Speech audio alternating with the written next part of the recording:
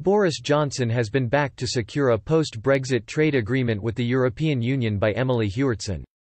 Ms. Hewitson told Express.co.uk she is confident Boris Johnson's trade talks team will be able to secure a deal with the EU before the end of December 2020.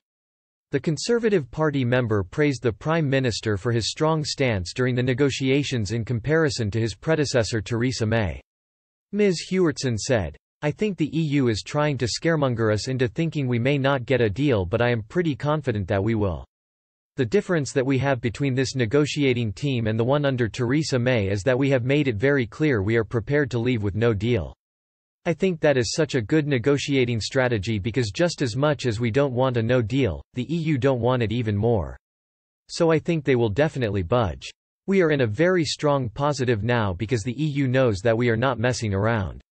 They can no longer get away with the things they did with Theresa May. The difference between Boris Johnson and Theresa May's Brexit talks team was also highlighted by Iain Dale during an interview with Express. Mr Dale highlighted the fact the Prime Minister has a proper negotiator representing the UK as a potential trump card. Mr Dale told Express that David Frost is a very different kettle of fish to Olly Robbins, who represented the UK during Theresa May's tenure as Prime Minister. The broadcaster also praised Mr. Johnson for not bowing to the European Union's demands during negotiations.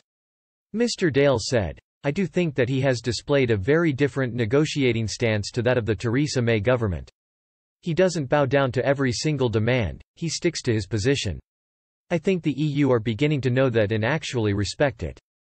We have got a proper negotiator, that is maybe Boris Trump card in David Frost.